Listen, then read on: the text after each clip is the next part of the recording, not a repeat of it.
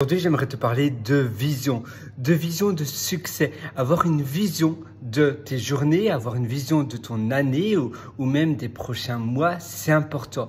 Tu dois savoir où tu vas et qu'est-ce qui te rend heureux, qu'est-ce que tu voudrais faire et qu'est-ce que tu dois changer ou améliorer ou bien peut-être consacrer un peu de temps chaque jour pour pouvoir tordre vers cette vision désirée de ta vie.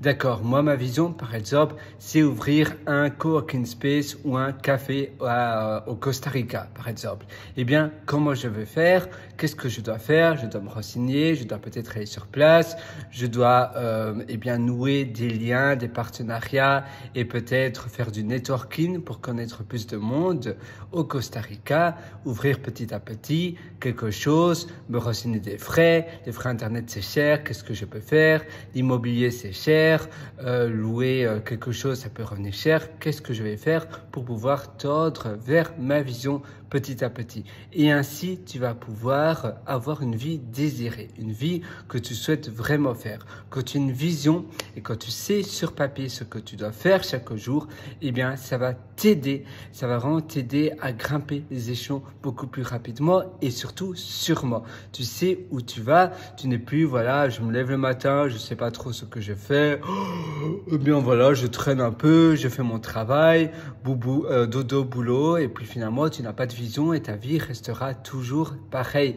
Si tu fais ce que tu as toujours fait, eh bien, ne t'attends pas à avoir quelque chose de différent. Tu dois changer pour pouvoir avoir une vie différente. Et c'est pour cela qu'avoir une vision vers une nouvelle vie que tu voudrais tordre ou bien vers un projet rêvé, un projet de rêve, c'est important. Et ainsi, chaque jour, tu vas contribuer un petit peu de ta vision de rêve.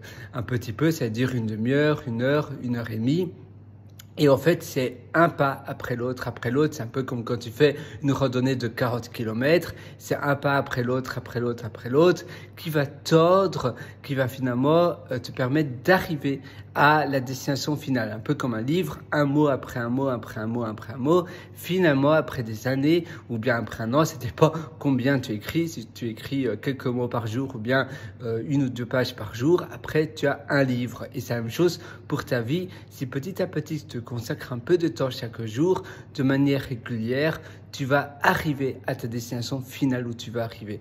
Mais il faut que tu consacres du temps chaque jour. Moi, je suis 100% avec toi. Si tu veux aller encore beaucoup plus loin, je t'ai concocté pas mal d'ateliers qui se trouvent sur mon site pierreroateur.com. C'est p r r e writer.com et là-dessus tu trouveras pas mal d'ateliers pour t'améliorer. D'ailleurs, il y a Super Humain, il y a Belle Vie, il y a Immersion qui propulse et euh, non pardon, intérieur qui propulse et Immersion profonde de la méthode Deep. Ça se trouve sur pierrewriter.com, p r r e w Je te souhaite tout le meilleur du fond du cœur et une prochaine. Ciao.